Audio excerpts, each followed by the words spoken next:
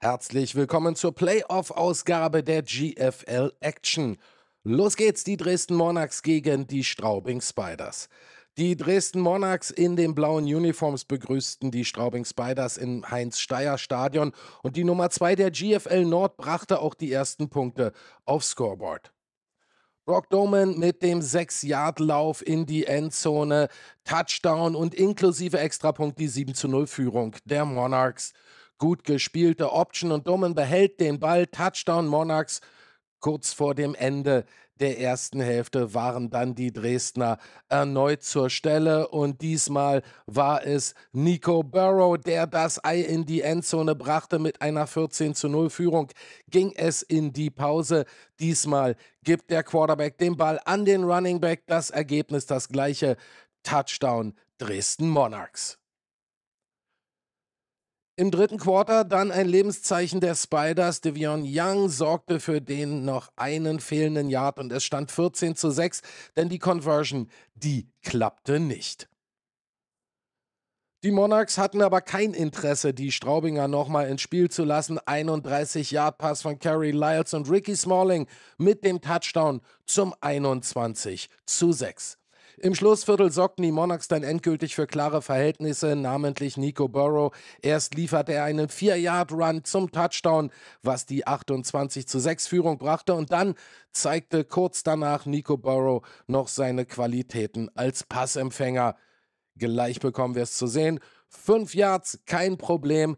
Der dritte Touchdown von Burrow in diesem Viertelfinale mit 35 zu 6. Ein deutlicher Sieg der Dresden Monarchs.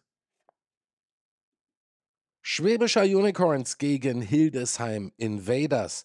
Gibt es das Halbfinale in Dresden oder in Schwäbisch Hall? Genau darum ging es in dieser Partie und die Invaders in den weißen Trikots legten auch gleich richtig gut los. Jordan Grant mit dem 16 Yards Touchdown-Lauf zur 6 zu 0 Führung. Schöne Einzelleistung des Invaders Running Backs, zwei Verteidiger aussteigen lassen und ab ging's in die Endzone. Und kurz danach legten die Invaders nochmal nach. 23 Yard Field Goal. Und es stand 9 zu 0, bevor die Unicorns zum ersten Mal aufs Scoreboard kamen. Connor Miller bedient aus dem Rollout Cem Kaveci perfekt und inklusive Extrapunkt stand es 9 zu 7. Hildesheim hatte aber eine sofortige Antwort. Rashawn Mills zunächst mit dem sicheren Catch und dann ging es einmal über das komplette Feld quer durch die Unicorns Verteidigung. 93 Yard Touchdown und somit die 16 zu 7 Führung der Gäste.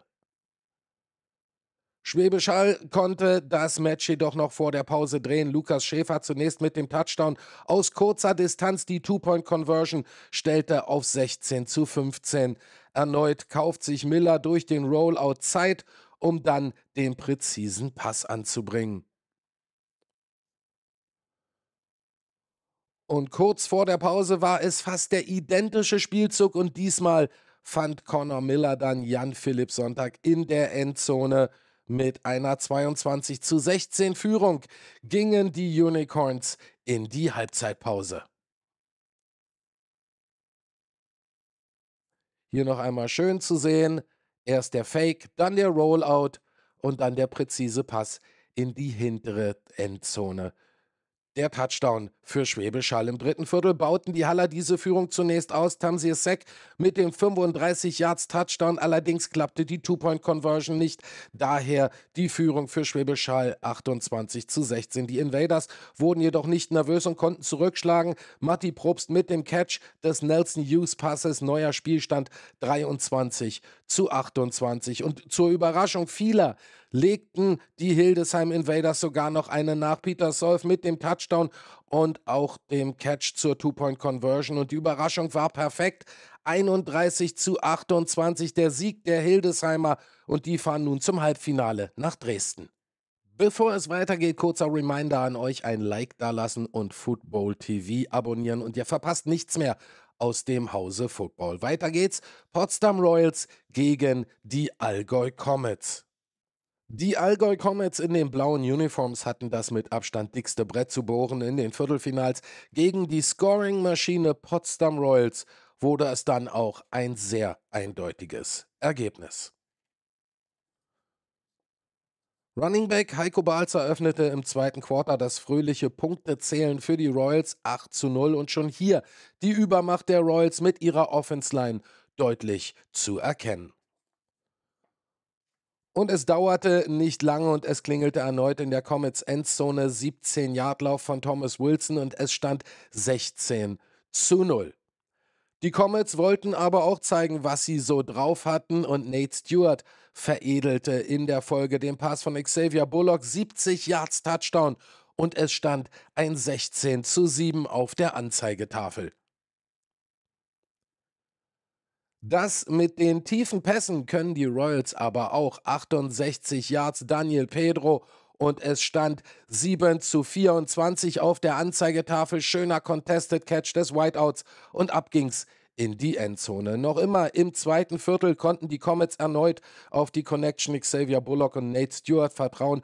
14 zu 24. Noch konnten die Allgäuer einigermaßen mithalten, aber die Royals legten den Comets noch vor der Pause zwei weitere Eier ins Nest. Alex Labella mit dem sicheren Catch 43 Yards und kurz danach Heiko Bahls mit dem Lauf in die Endzone und zur Pause stand eine deutliche 40 zu 14 Führung der Gastgeber in den Büchern.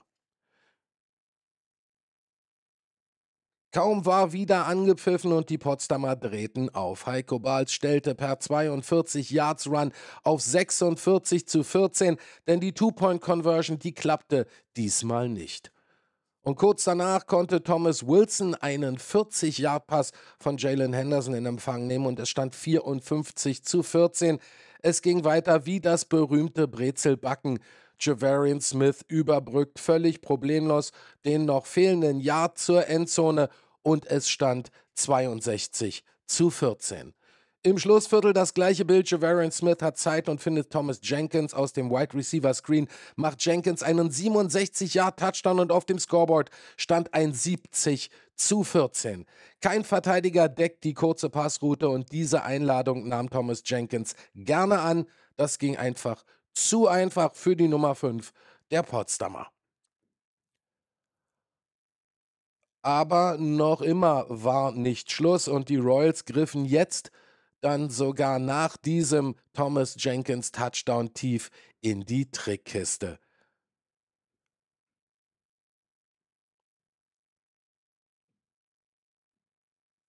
Heiko Balz fungiert diesmal als Quarterback und findet seinen etatmäßigen Quarterback Javarian Smith. Mein Taschenrechner zeigte ein 76 zu 14. Und einen spektakulären Score hatten die Royals noch zu bieten. Javarian Smith sucht und findet Thomas Jenkins 68 Yards. Keiner konnte den Whiteout auch nur in Gefahr bringen. 84 zu 14. Aber die Comets verabschiedeten sich mit Stil. Der letzte Score in diesem Viertelfinale. Bullock auf Nate Stewart. Touchdown und somit der Endstand. 84 zu 20. In Potsdam stellt man schon langsam den Champagner kalt. Die New Yorker Lions gegen die EFM Razorbacks Ravensburg. Das einzige Sonntagsspiel der Viertelfinalbegegnungen stieg im Teledata-Stadion der in weißen Trikots spielenden IFM Razorbacks Ravensburg. Die ersten Punkte in dieser Partie lieferten aber die Gäste aus Braunschweig. Der Screen Pass auf Luke Meacham und der ließ sich nicht aufhalten. 44 Yards bis in die Endzone, die 6 zu 0 Führung der Lions, denn der Extrapunkt, der ging daneben. Aber die Löwen legten noch im ersten Viertel nach. Tyrell Norville kann sich auf die O-Line verlassen. Gutes Blocking, nur ab ging's in die Endzone, inklusive Two-Point-Conversion, die 14 zu 0 Führung für Braunschweig.